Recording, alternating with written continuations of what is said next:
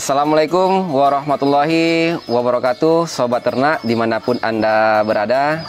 Pada kesempatan yang berbahagia ini kita akan membahas salah satu gangguan reproduksi pada sapi yaitu repeat breeder atau kawin berulang.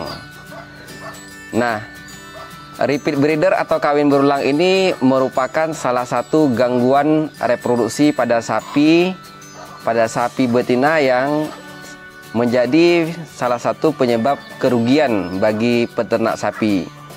Nah, kenapa?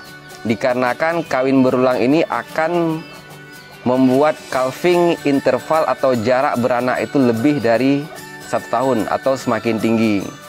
Kenapa? Karena repeat breeder ini sapi dengan birahi yang normal kemudian dikawinkan tidak bunting tiga kali berturut-turut atau kawin tiga kali berturut-turut dengan catatan siklusnya, siklus birahinya atau siklus estrusnya normal.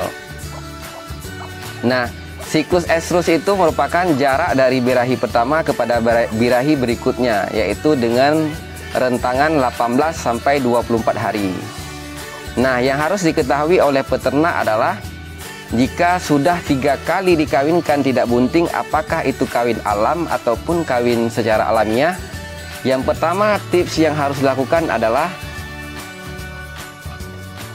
amati birahi sapi pada hari ke-18 setelah dikawinkan 19, 20, 21 hingga 24 lebih baik hingga 25 ini pengamatannya tiga kali sehari lebih baiknya empat kali sehari dengan rentangan 4 jam.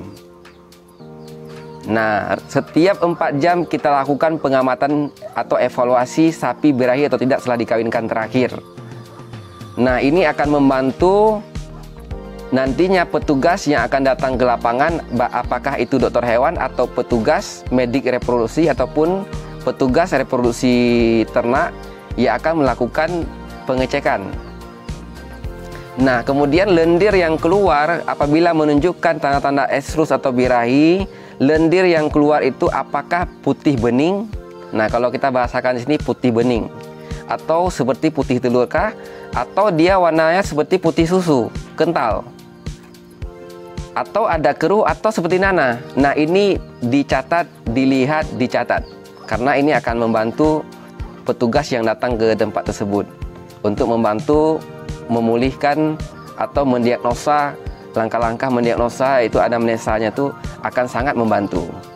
Nah, sobat ternak, nah apabila lendir yang keluar itu keruh, nah ini menandakan adanya endometritis atau peradangan pada uterus. Jadi wajar saja sapi yang dikawinkan ini tidak bunting dikarenakan dia mengalami endometritis, peradangan pada rahimnya. Jadi sapi yang dikawinkan tersebut mungkin saja mengalami pembuahan atau fertilisasi namun tidak mengalami implantasi atau menempel pada dinding uterus sehingga sapi tidak atau sehingga sapi birahi kembali. Kemudian langkah berikutnya yang dilakukan oleh peternak adalah memberikan vitamin dan mineral dalam bentuk serbu ataupun yang lainnya bisa didapatkan mudah di toko pertanian, diberikan setiap hari.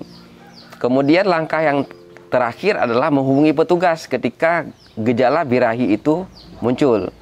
Jangan dilakukan inseminasi buatan lagi di hari ke apa keempat kalinya. Jadi IB cukup tiga kali apabila tidak bunting. Namanya adalah repeat breeder kawin berulang. Jadi jangan sampai IB keempat, lima, bahkan ada kasus di lapangan sampai IB ke 10 jadi kita jadinya trial and error coba-coba. Jadi ah, birahi yang keempat kalinya ya kan? Jangan dikawinkan panggil petugas nantinya akan dilakukan treatment pengobatan. Apakah kasusnya repeat breeder ini terkait dengan peradangan rahim ataupun lainnya? Harapannya adalah kalau kita hitung saja tiga kali kawin tidak bunting dengan asumsi 20 hari, berarti 20 kali tiga sudah menghabiskan waktu 60 hari. 60 hari ini dikalikan aja kosnya per, uh, per hari misalkan 10.000, kita sudah rugi 10.000 kalikan 90.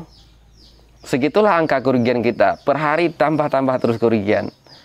Harapan kita kalau melihara sapi indukan betina satu tahun sekali beranak. Nah, jadi itulah tips yang dapat kita sampaikan. Semoga bermanfaat untuk peternak sapi Indonesia. Sukses selalu. Wassalamualaikum warahmatullahi wabarakatuh.